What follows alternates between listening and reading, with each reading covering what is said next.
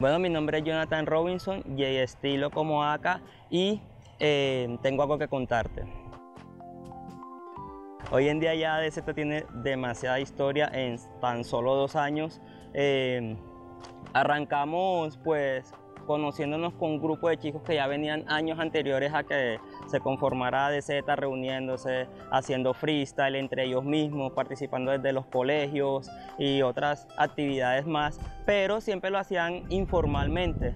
Eh, ya yo venía trabajando este proyecto años, muchos años atrás, eh, desde que regresé a San Andrés, eh, como mirando, buscando quienes les gusta el tema de freestyle tal cual como a mí me gusta y se dio ese momento de mi grupo de amigos que trabajan hoy en día conmigo en ADZ en freestylear con ellos. Pero toda la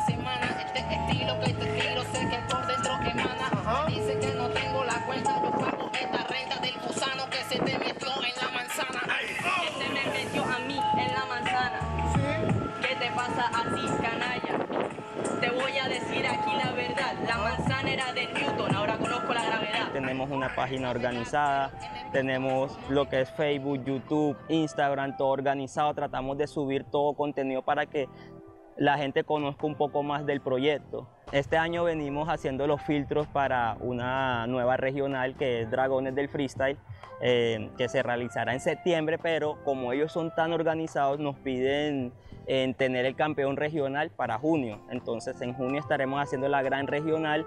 Eh, ¿Para qué? Para que se puedan tener visualización a- en, en toda Colombia en la escena del freestyle. Somos los más jóvenes de la escena a nivel regional, pero casi todas las regiones nos han dicho que hemos avanzado demasiado en tan poco tiempo. Lo que ellos han hecho en muchos años, nosotros lo hemos logrado en dos años. Entonces eso nos ha llenado mucho orgullo eh, poder representar a San Andrés, poder tener un pedazo de cambio en los jóvenes en la isla.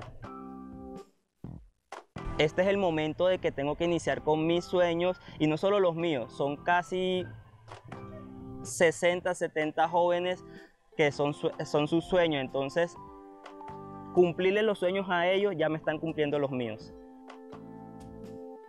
¿Qué se necesita para ser un buen freestyler? Uf, eh, primero, lo primero, lo primero es querer ser freestyler, creértelo, en tener ganas y de resto es mucha lectura, mucha concentración.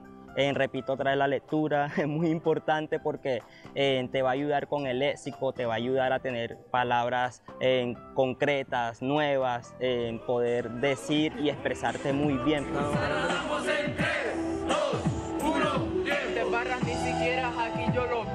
Por más que quieras partir la pista con freestyle, yo sí ya fluí.